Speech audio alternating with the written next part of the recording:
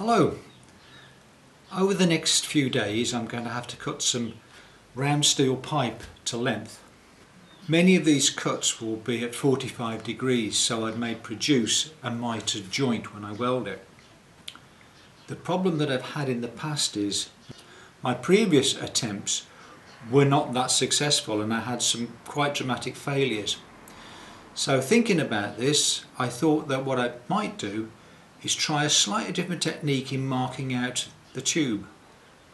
And what I've decided to do is to use a spirit level which has a horizontal line laser marker in it and using that laser marker to set the 45 degree line on the tube.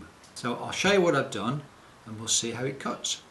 All I've done is I've screwed my spirit level with the laser in it to a short plank of wood and clamped it to my workbench. When it's turned on, hope you can see the line of the laser and I've put into some V-blocks that I made the steel pipe that I want to cut and the laser line is there nice and clear for me to start cutting. Now I'm going to cut with a grinder. Originally I'd started to do it with a hacksaw but it is going to be too difficult to do and I have several to cut. So I'm going to use the angle grinder to do this.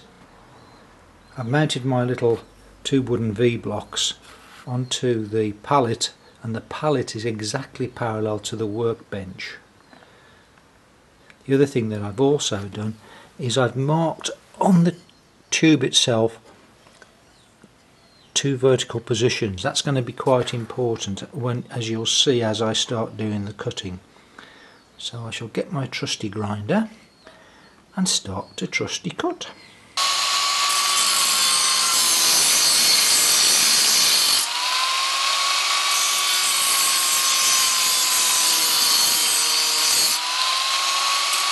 So I've cut the first half of the pipe. I, I can see inside, I hope you can see as well, you can see the laser line poking through the the cut to cut the other side I'm going to have to turn the tube around and this is why I marked the vertical positions. Right, I've turned the laser through 90 degrees so it's aiming the 45 degree line is now in the opposite sense.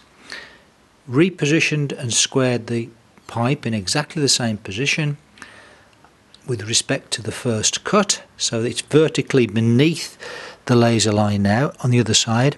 And I've checked the squareness with the set square with the tri-square sorry on the two chalk lines. So hopefully now when I go in with the angle grinder the cuts should start to coincide. So how did I do well for a start it was quite easy to cut. A the end cut here is a little bit sharp which I've got to grind off. But generally this is a 45 degree angle. And look at that.